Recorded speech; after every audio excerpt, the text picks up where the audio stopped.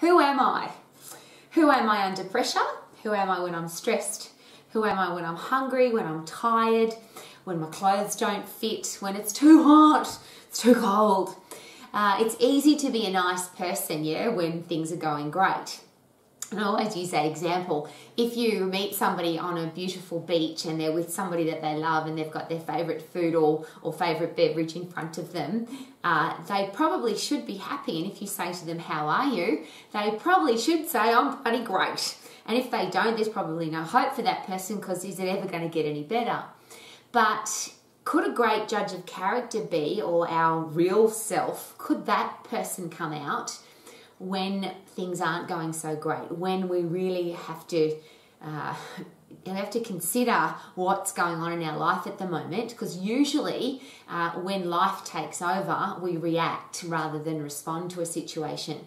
So, should we put ourselves in a position where before we ever say anything, before we ever do anything, before we ever act, we think about what we're doing?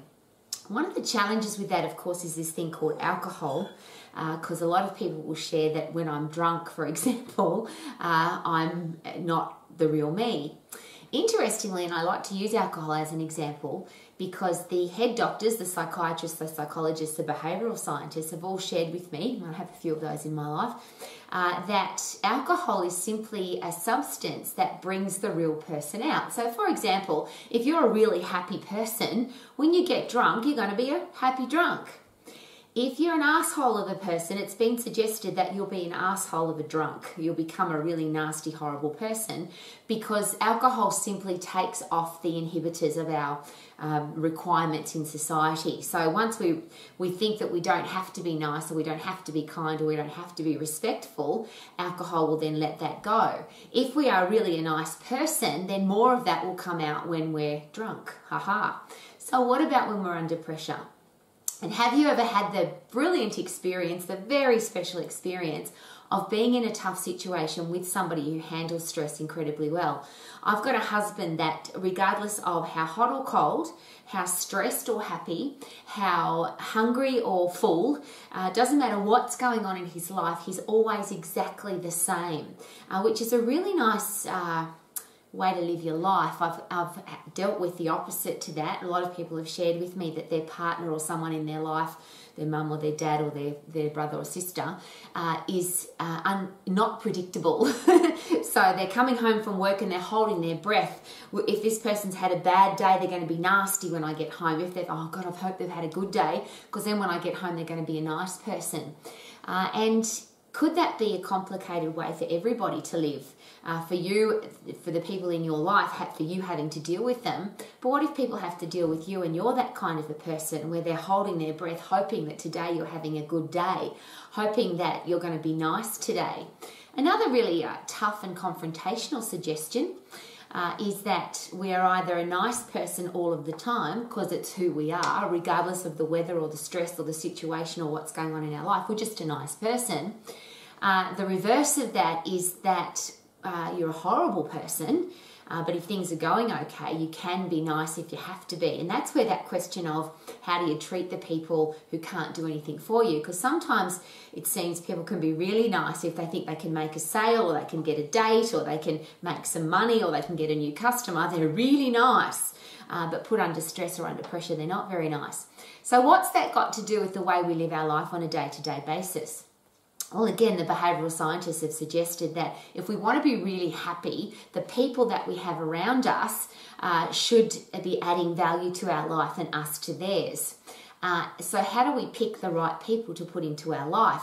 Now, I've got dogs here. I know these are only ceramic puppy dogs, but uh, one of the special things I use on a regular basis is I trust my dog's instinct, and I have four of them. I trust their instinct to uh, test character, and it's worked for me so many times where I've thought the person's really nice, the person's had a really good CV or resume, uh, they've presented well at an interview, they've seemed like a really nice person, and then I introduce them to my dogs. Uh, I've seen a really interesting example. Uh, we had a, a, beautiful Labrador called Sparkles, and he was the most placid, loving, kind, adorable Labrador, as Labradors are. But there was two occasions where my Labrador turned into literally a wild, raging animal. Uh, he met some people, two people in particular, and he just hated them on sight. It was like his, his bared his teeth and his hair came up on the back of his neck, and it was like he was going to kill them. You would have thought he was a, a wild fighting dog, this placid Labrador. Interestingly, both of those people who we thought may have been nice people turned out to be not so nice. So his judge of character was absolutely spot on. So there's you might have some people in your life like that if you haven't got dogs who just seem to have that gut instinct, that gut feeling about people uh, often it's been that particular character trait has been related to women. A bloke will say, Yeah, he's a nice bloke, he's a good bloke, you can, you can trust him, he's a good guy. And the, and the, woman will say, No, not so much, I don't think you should trust him. And the guy goes, No, no, he's a good bloke, he's a good bloke. And sure enough, six months down the track, the good bloke turns out to be a guy that rips you off. Uh, it, there's something about, uh, as I call it, sparkly bits, the, the who you really are. And it seems that some people have an ability to really work that out very, very quickly. So here's some things to consider if you are in the position of having to employ people uh, having to pick uh, people for a sporting team or an organisation, a board. Uh, obviously, if you're going to be dating somebody, putting somebody into your life, you might be vetting somebody for somebody else. And your girlfriend might have said, Yeah, bring your partner at home and we'll check him out for you. Or uh, there's some interesting, that's Broody. He's a classic example. He's been on the planet nearly, nearly well, 20 years now. We're almost at his 20th birthday. Uh, he's a really good judge of character. Uh, there's some people he really likes and he goes to straight away, and there's other people he just hates them on sight or he just runs away from them because he's scared of them.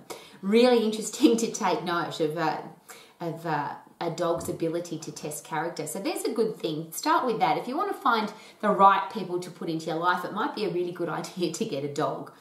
This is a really interesting test. Now, I'm not suggesting by any means that you should get people drunk, uh, but it is a very interesting way to find out what people are really like. So if you take somebody out, and I'll just use that as, I'll step, I'll take a step back from getting people drunk. If you take people out to eat, it's a really great way to find out about people. Uh, have you ever been in that awkward situation where the bill comes and who's going to pay?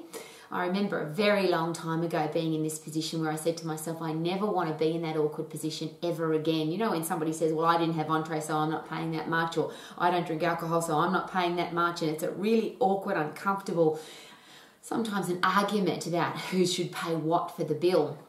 So I remember being in that situation and saying, I'm never going to go through that again. I'm just going to be the person that can pay. If I can't pay for everybody, I'm not going out to eat or going out to drink because I don't want to be in that awkward situation.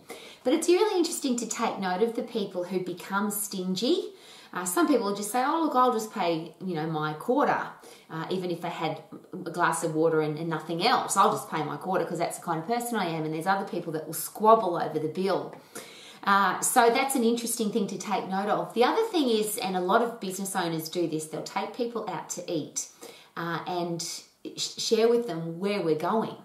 So if we're going to a really nice restaurant, uh, if you really, if you do need to impress somebody, could it be a good idea to find out about the restaurant, what kind of food they serve, what the dress code would be, uh, how to how to be an awesome guest at that restaurant. Uh, one of the special things I, I, was taught again a very long time ago, just little things about good manners, is always find out the name of the people that are serving you and use their name. Uh, really nice to give a tip before you eat. A lot of people say, well, the tip's about whether or not you got good service. But is it possible that if you give a tip at the start, that you might get extra good service? Now, I would never give a tip to get good service, but it just says more about me than it does about where I'm going. Uh, should you know how to use a knife and a fork and which wine glass to drink out of and where to, where to put everything when you sit down and how you should act at a dinner table. And it might not be important to you, but if you do need to impress somebody, would it be a good idea to find all of those things out. And as I shared, there's a lot of business owners that will do that. That if they want to find out about somebody, they'll take them out to eat. Uh, eating is an interesting expression of character. Some people just eat as much as they possibly can. Other people order the most on the menu because they know the thing that's most expensive because they know they're not paying for it. Some people drink a lot because they're nervous and end up getting drunk and making a fool of themselves. Other people don't eat anything. Uh, it's a really interesting experience. And I share that with you as part of a, a beautiful system I was taught as an employer. And having employed literally thousands of people in my career, this has been a very helpful tool. But if you want to date somebody, if you want to uh, put somebody onto your sporting team, if you want to put somebody into your rock band, into your orchestra, into your singing group, uh, wherever you need to congregate people together and you don't want that awkward, uh, uncomfortable experience where you have to throw somebody out, off the team or out of the organisation or you have to fire them or you have to tell them that the relationship's over, often we put ourselves into those situations, yeah, where we pick the wrong person at the start and then we have to try and get rid of them and it's a horrible experience. So how about we pick better at the start? And from an employment point of view that's obviously a very good idea. A lot of employers uh, will employ somebody because they have to. They've lost somebody or uh, they've got a you know big orders come in or they've got a change in the business and they just have to have to employ some people uh, it has been suggested it's better to have uh, no people than the wrong people. The wrong people can destroy your business in a very short period of time. So, this system, and I call it the system of three because I like to keep things really simple. Uh, and it served me very well for my personal and professional relationships. So, it might work well for you. Uh, and the reverse of this is not just when you have to put people into your life but what about when you're going to be in other people's lives? What if somebody was applying this system of three to you? So you're going to out for a date, or you're applying for a job, or you're applying for a position on a sporting team or in a musical group. People are looking at you from the outside. What will they find? And it's a really interesting, uh, and I'll use social media in particular because it seems that uh, who we are, who we really are, doesn't get portrayed much anymore. I have great respect for the people who just be themselves regardless of the rules of society. Now, it's nice to abide by rules, but not if you don't believe in them and not if they're your, not your core values. So, for example, if somebody says to me, This is who I am, this is the way I dress, and if you don't like it, bad luck. To me, that means dress that way at a wedding, at a funeral, when you're in a court of law. Have you noticed they always dress the criminals up in a suit when they go to court?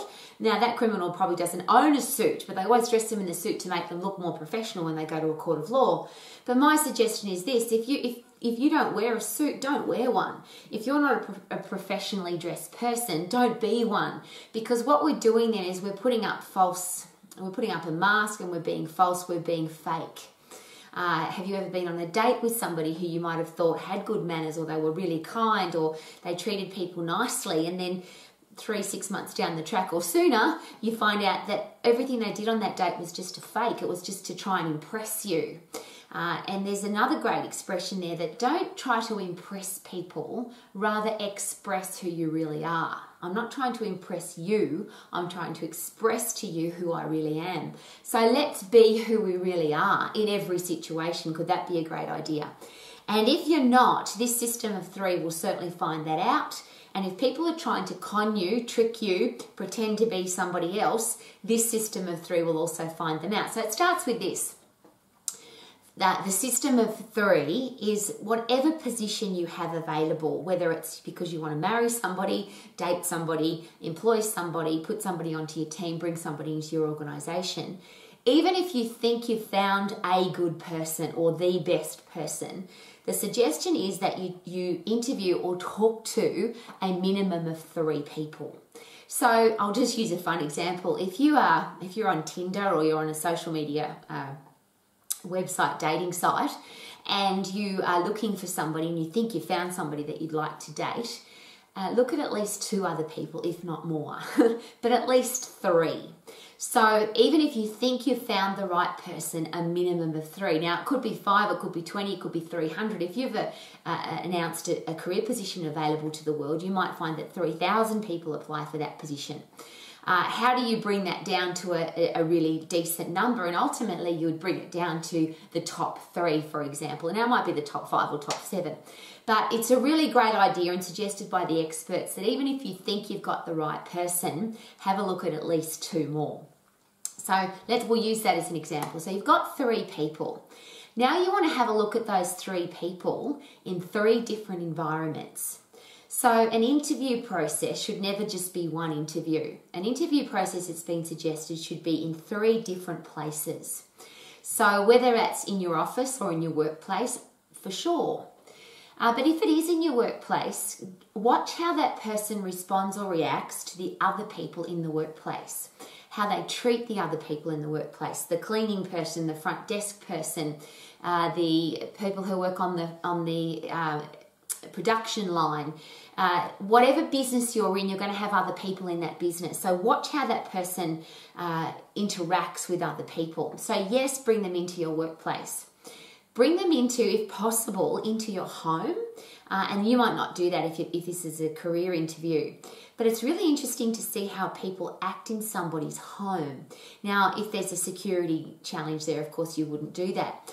Uh, but I'll use the home as an example. Do people take their shoes off? Now, you might walk around your house with your shoes on, but good manners would suggest that a person coming into your home would offer to take their shoes off. Uh, and if they don't, and you've got your shoes off, well, there's just an interesting, well, maybe they don't have good manners or they're not very respectful. Just an interesting note. When somebody goes to the bathroom, now you could check this at your office, you could check this at your um, athletic field. You could test this in your uh, wherever you practice music. You could you could test this in your own home. When somebody goes to the bathroom, how do they leave the bathroom? Uh, do they leave water in the sink? Do they leave smells in the toilet? Do they leave um, paper on the floor, hair in the sink? They're all interesting signs of people that might in the future have a dirty desk or might not be respectful of your home. Uh, the reverse of that, you might have a really clean, sorry, you might have a really dirty home and there's no judgment there because some people, it's just not important. Somebody comes into your home and starts cleaning up your home, you might find that really annoying. Uh, if you bring somebody like that into your business where you've got stuff everywhere and that's how you like to, to run your business and somebody comes in and tidies everything up, you might find that really annoying. So it's really interesting to see how people respond or react in that in a home situation in an office situation when it comes to cleanliness uh, again when you bring somebody into your home if they, they know that you're coming to your home or they are coming to your home did they bring a gift uh, did they bring something to eat or drink uh, how did they treat your property uh, did they put their feet on something without asking first? Did they just sit down where it might be a spot that you would not normally sit down? Uh, and you might set some things up to see how people treat your home. So the three different environments though, one of them doesn't have to be your home, but it's an interesting place to bring people. And for me, it's always been a great place because that's where my dogs are. And now my dogs can check this person's character. There are a few people that have made it to the to the dogs, but they've never made it into the house. So we've come up with a, a reason to take them somewhere else because the dogs didn't like them straight away. Interesting take note. The other uh, great environment to consider is an environment of competition. Uh, if you play tennis, golf, mini golf, uh, take somebody to the gym and lift weights, uh, any form of competition. Now, it might just be playing Monopoly or cards or, or tunnel ball, it doesn't matter. As long as there's a situation, an environment where you can check how people are when they're under pressure to compete. And it's interesting to watch how some people just throw their arms up in the air and say, "Look, I can't play this. Oh, I can't do it. I'm no good at this. I can't play basketball, so I don't want to play." Uh, I'll give you an example. I used to take people uh, to play paintball with the, the proper bullets, and it was interesting because I would invest. This is for me a really great investment in people. Uh, if you take people to play a game like that, it's quite expensive, and you have to pay for the bullets. And it was interesting that the paintballs, that is, it was interesting to watch how some people would uh, play the game, they'd come back and have all their bullets left, which means they went and hid somewhere and didn't shoot anybody. There were other people that came back covered in paint and no bullets left, which means they were, uh, were prepared to take risks and they were pre- prepared to get hit and they were hitting people as they went. Now, this all depends, of course, on the kind of person that you're looking to put into your life. And if this is a personal decision about a partner, these are some really interesting things to take note of. I've seen people, and I'll use an example, I've used the game of musical chairs. Uh, and on group interview nights, we'd have 40, 50, 60, 100 people, and we'd play musical chairs. And I've literally seen men pick up women and throw them on the floor to get their chair for musical chairs. Now, I'm sure you would never find that out in a normal interview situation because in an interview we're trying to impress, aren't we? uh, but in a competitive situation, when somebody is very competitive, it's really interesting to see that that streak of them get come out. So three different environments. It might be their home if they invite you. It might be a park. Uh, it could be a restaurant. So the work environment, home, park, coffee shop, restaurant, uh, competitive environment. So you take them for tennis or golf or some kind of game. Uh, really interesting to see that. Now that's so that's three people in three different environments. The next one is over three different time frames. If I ask you this personal question, are you a morning or an evening person? Do you function more effectively first thing in the morning, or does it take you a while to wake up and you function really well late at night? Uh, depending on the times that your business is open, or depending on the person you're looking to put into your life or your organization, that could be a really important thing to take note of.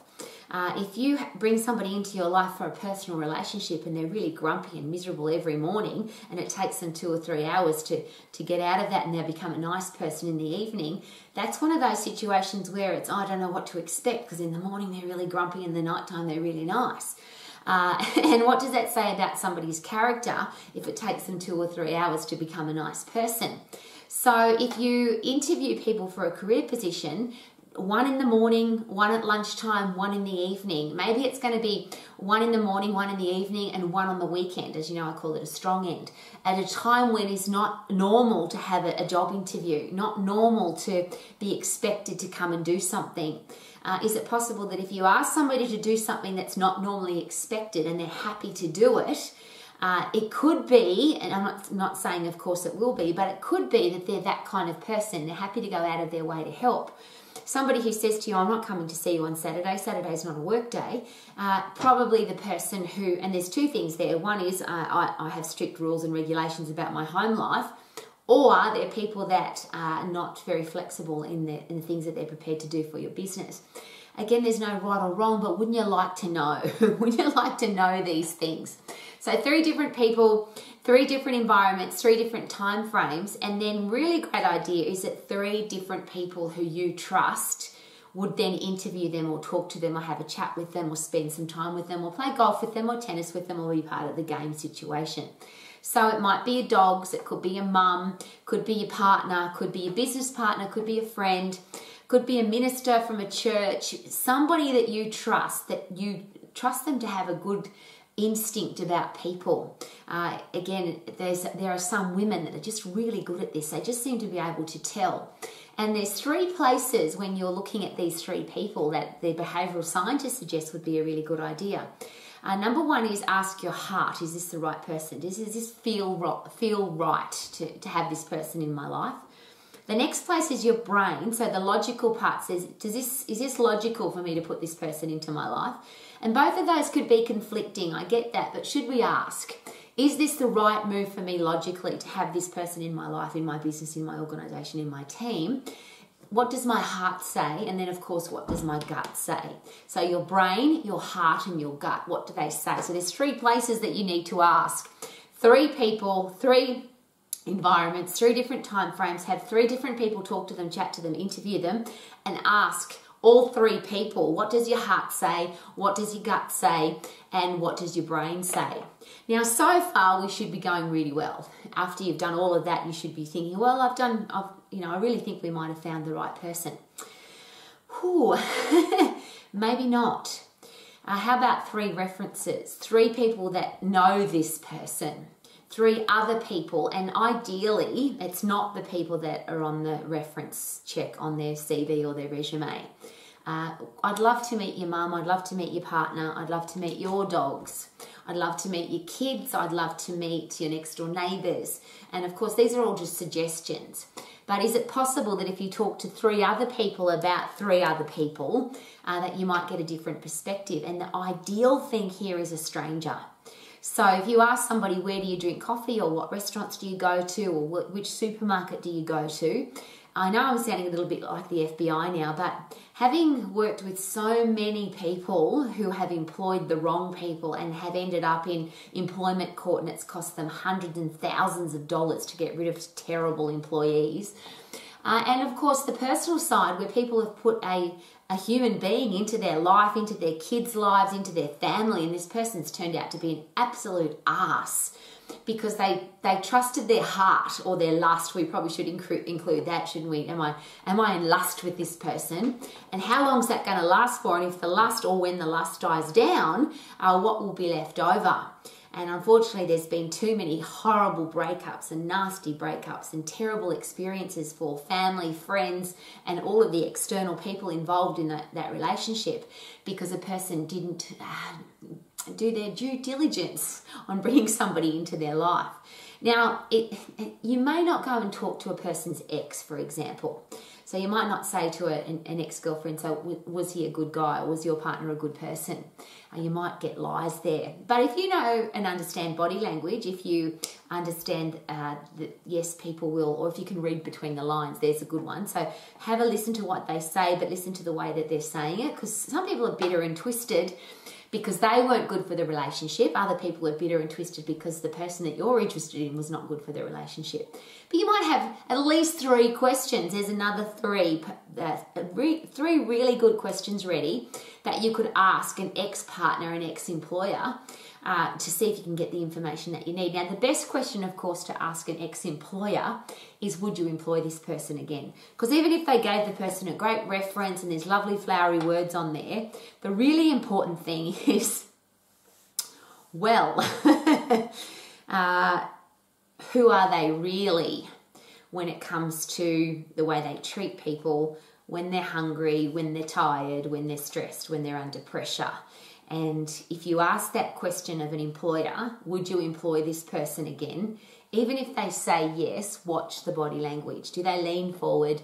Are they happy to say, yes, I'd love to have this person back in my business? Or they go, oh, yeah, it'd be great to have them back. They were excellent. I've uh, dramatized that a little bit, but there's some truth that will come out there. And it never ceases to amaze me how. Uh, business owners don't do reference checks and not just reference checks from the CV. Go and find some people who know this person. Uh, if they drink at a coffee shop, take their photo to a coffee shop and ask the people there, do you know this person? And describe them for me as a person. Uh, you are about to take one of the biggest risks, personally or professionally. Putting somebody into your life who could break your heart, and that's the risk, isn't it? Uh, wouldn't you want to find out about a little bit more about this person than what they might be pretending to be at a date? If you're going to employ somebody, that's a whole different story. So whether you're going to pay them $15,000 a year or $50,000 a year or $500,000 a year, all of those are a very large amount of money if you get stuck with them and you can't get rid of them.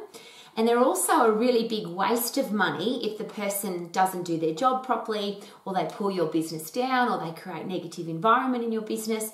And these are the, the system of three will help you find out some of those things. Uh, the other thing is uh, three different environments where the person's not there, which brings into that cafe, restaurant, gym, sporting team situation.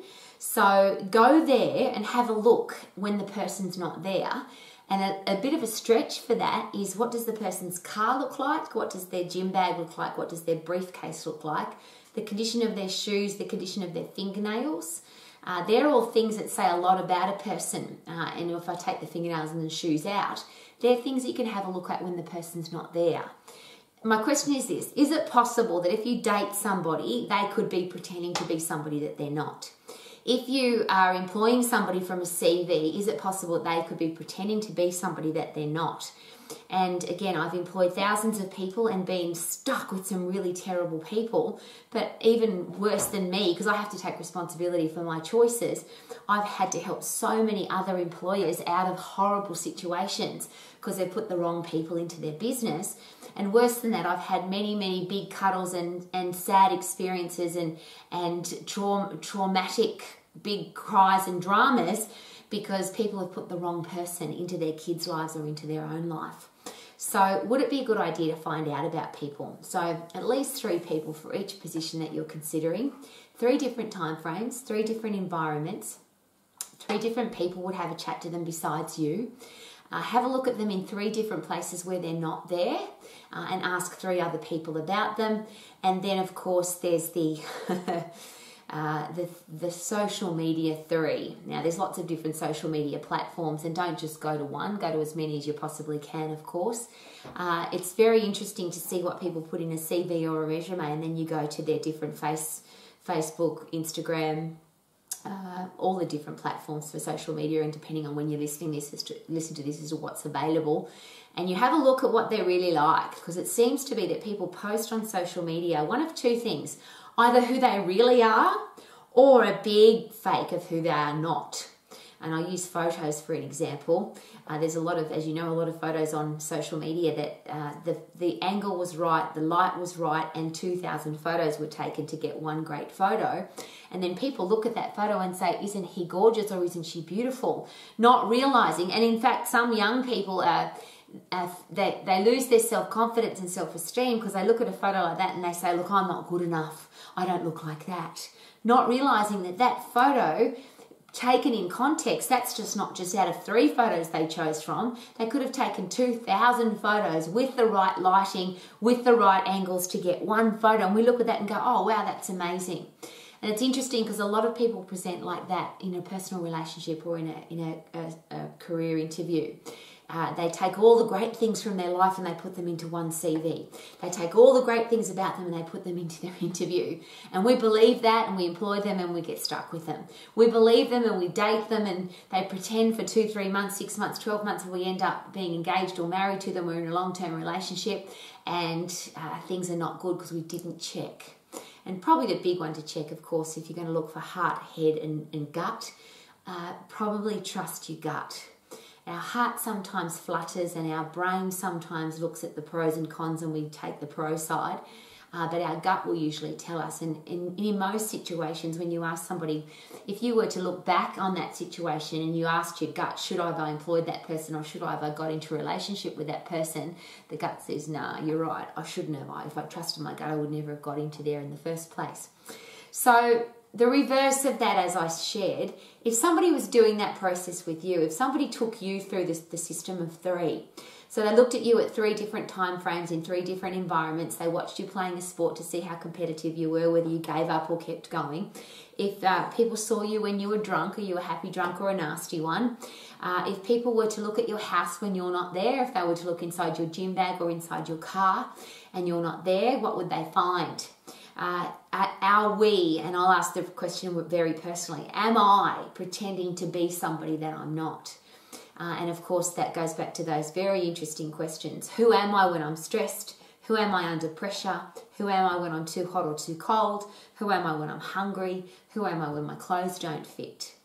And if I'm the same person all the time, and that's could that be the ultimate test of character? That regardless of what's going on, whether it's good or bad, whether it's uh, a beautiful day or a freezing cold, miserable, rainy day, I'm having a great day. Uh, would it be nice to put people into your life who every time you see them, every time you interact with them, you know what kind of person they're going to be because they're not pretending to be somebody else. And if you don't have a puppy dog, there's a couple of reasons to get one. Uh, and I'm going to ask you to get two because it's always nice because they're a pack animal. They get lonely when they're by themselves. Uh, your dog will test your test character very quickly. So if you put anybody in front of a dog, it'll tell you very quickly whether or not this is a nice person or not.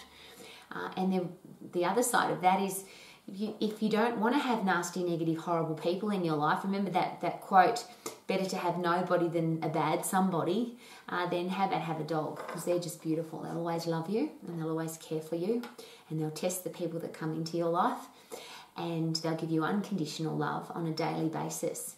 And wouldn't it be nice to have a reputation of being that kind of a human? A human that can be trusted, a human that's loyal, a human that will look after the people that you love, and a human that will uh, protect you from the people who are trying to attack you. Wouldn't it be nice to have more people like that in our lives? Wouldn't it be nice to have a reputation of being that kind of a person? So the question is who are you? Who do you want to put into your life? And maybe use the system of three to make sure that you've at least got a fighting chance to get the right people into your life. Yes, woohoo!